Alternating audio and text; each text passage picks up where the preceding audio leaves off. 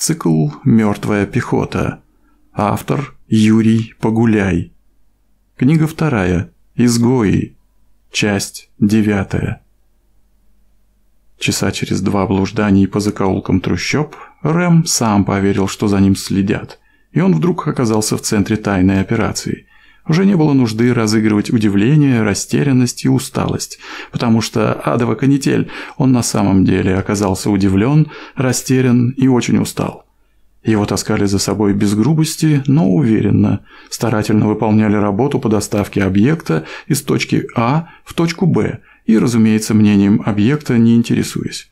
Провожатые сменились дважды, у каждого на подхвате была неважно замаскированная группа прикрытия, вооруженная – Три раза Консворта пересаживали из машины в машину, проводя эдакий экспресс-подъем по социальной лестнице, от дребезжащей повозки с мотором до автомобиля представительского класса. Последний вывез Рема из трущоб верхние кварталы. Солнце погружалось в окровавленные облака, небо стало почти фиолетовым. Консворт с вымотанным торжеством смотрел на него, но не улыбался. Очень хотелось кушать. Когда Рема пересадили в летун, бывший дознаватель лишь тяжело вздохнул. Он очень вымотался, в голове собирался туман. Напряжение последних дней грозило сорвать еще одну пружину. Соловела, глядя на пролетающий внизу лаймуар, расползшийся на много километров, он лишь отметил пересечение границы с заповедной зоной. Никаких эмоций это событие не вызвало. Дознаватель прикрыл глаза. На секунду, как предполагалось, Проснулся от вежливой, но настойчивой ладони на плече. Поднял голову, вытряхивая дремотную слабость. «Прошу», — сказал последний провожатый. Он склонился в проеме двери летуна и заботливо улыбался. «Так мило, так трогательно». «Соберись, Рэм, не расслабляйся. В трущобах те, кто переходили дорогу Стратусу, такой заботы не встречали». Консворт подался вперед и выбрался из летуна. Пахло лесом после дождя. Ноги ступили на сырую гальку. Пока очень неплохо. После постоя у бандитов падали даже хорошо. От дороги в поле вела тропка, обрамленная деревянным забором, метров двести идеально прямой линии, упирающейся в островок деревьев с пышными кронами. «Идемте», — указал туда провожатый. «Позвольте?» Он ткнул в терминал. «Нет», — резко ответил Рэм, — «у него ничего не осталось, кроме компьютера. Мужчина примиряюще показал ладони и еще раз улыбнулся. «Воля ваша!» От свежего воздуха чуть закружилась голова. Ветер, не несущий в себе городской затхлости, опьянил, но Рэм и виду не показал, что хоть как-то впечатлен случившимся. Ему доводилось бывать в заповедных местах, когда работал на Нувалов. Хорошо быть богатым и благородным, ничего не скажешь. Есть деньги и власть, будет и резиденция в зеленой зоне. Яркий пример классового неравенства – Простого смертного в этих краях ждет смерть во имя природы. По травяному полю бежали волны. Над зеленой равниной метались птицы. И тишина. Непривычная. И потому чуточку страшная. Словно во всей округе не было никого, кроме него, провожатого и пилота-летуна. У деревьев Рэм понял, что ощущение ошибочно. Среди зарослей застыло несколько бронированных охранников с вооружением, способным остановить небольшой отряд – кольце деревьев прятался аккуратный домик, на крыше которого расположились стрелки. Во дворе два броневика нейтральной окраски без гербов. Под ногами скрипнули деревянные ступени. Рэм поднялся на крыльцо, обернулся на провожатого. «Прошу», — только и сказал тот, оставшись внизу. Рука легла на резную ручку и потянула ее. «Добрый день», — сказал сидящий за деревянным столом Лиам Стратос поднял лицо к Рэму и улыбнулся. Правильные черты, благородные, точеные даже, волевой подбородок, узкие темные глаза с аккуратными, словно выщипанными бровями. «Кто вы?» – настороженно произнес Рэм, оглядываясь. «Что я здесь делаю?»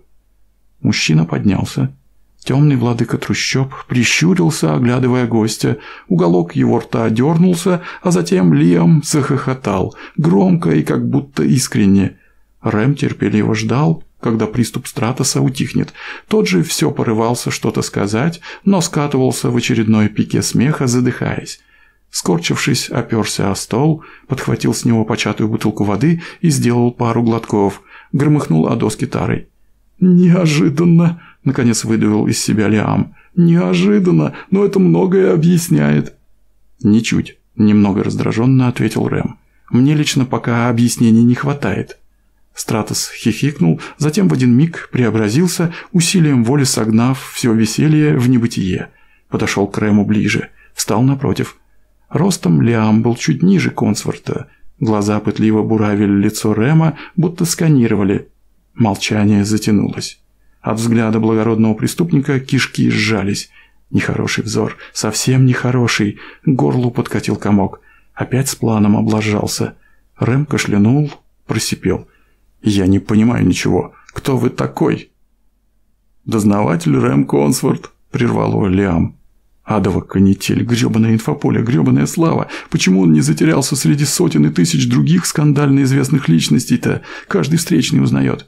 «Обладатель инсигнии», – продолжал Лиам. «Доверенное лицо Нувалов в расследовании. Тот, кто трахнул шлюху Ксеноруса».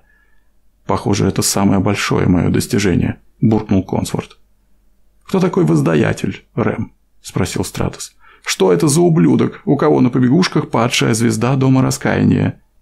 «Я не знаю». «Он думает, что взял меня за задницу», – без улыбки сказал Лиам. «Я этого не люблю. Ты вот любишь, когда тебя берут за задницу?»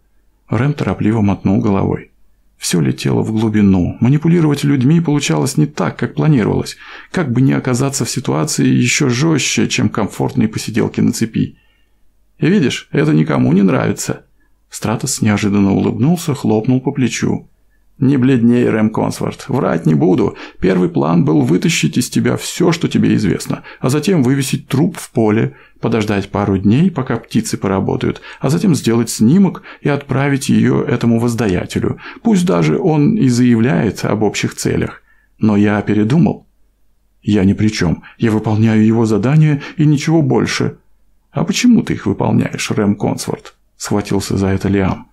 Потому что он знает, что я жив. Потому что тот, кто хотел меня убрать, вновь станет искать. И на этот раз найдет. Потому что я еще не знаю, кто стоял за той шлюхой. Пока не знаю. Так выходит, Рэм Консворт, что теперь и я осведомлен о твоей фальшивой кончине. И я? Чем теперь воздаятель страшнее меня? Он неизвестно где, а я вот рядышком совсем.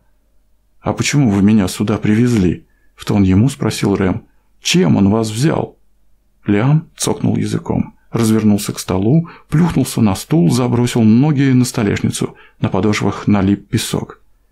«Мы с тобой, Рэм Консворт, летим в одной спасательной капсуле по направлению к большой и горячей звезде.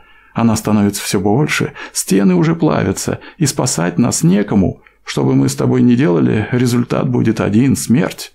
Мы сами оказались в этой капсуле и свернуть не сможем, Воздаятель баражирует где-то рядом, но скорее лишь подтолкнет нас, чем вытащит. Философ, как же нам с тобой быть теперь?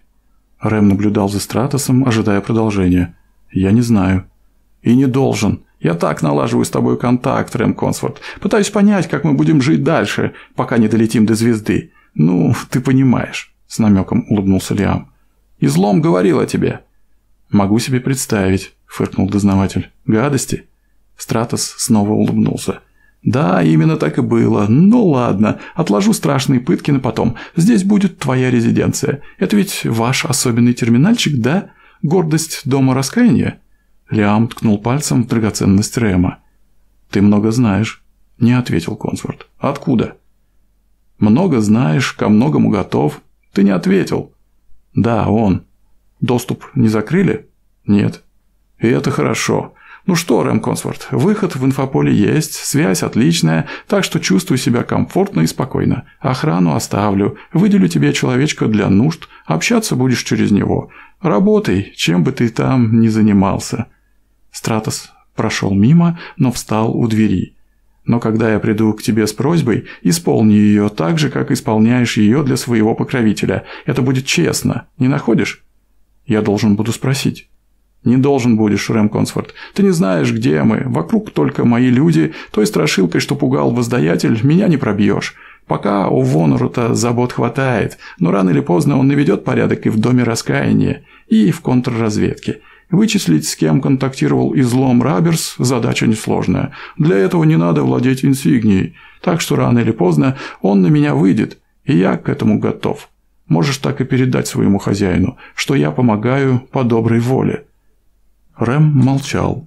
Затянувшийся стресс не мобилизовал серое вещество в голове, а разбавил. Лям прав. Отследить коммуникаторы изменника – задача плевая. Странно, что ее еще не выполнили. Или выполнили, и теперь собирают информацию по сообщникам. Стратос подмигнул Рэму.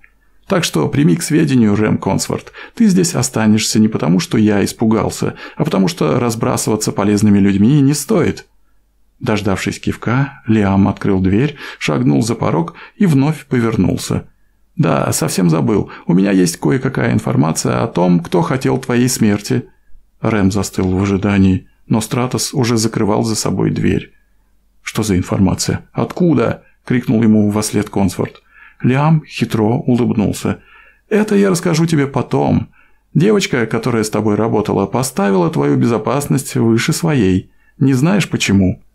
Рэм порывисто шагнул к Стратусу. «Говори, что знаешь». «Потом, потом, Рэм Консворт. Считай, что в нашей спасательной капсуле есть банка холодной воды, и только я знаю, где она. Дам, если заслужишь». Дверь захлопнулась.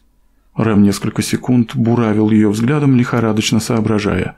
Пальчики доложилась Раберсом, а после излом поведал обо всем Лиаму. Они и правда хорошие друзья, раз такими вещами делятся. Он медленно развернулся к столу, положил на него терминал, попытался предугадать, где здесь находится кухня. В животе урчало. Запах жареного мяса выкарабкался из недр памяти, и рот наполнился слюной. Вот только обыск дома показал, что здесь никакой еды нет, кроме концентратов. Доступных женщин тоже, как ни странно, не нашлось. Рэм плюхнулся к рабочему столу, водрузил на него терминал, глубоко вздохнул. Ну, все не так ужасно. По крайней мере, он еще жив. Пока что.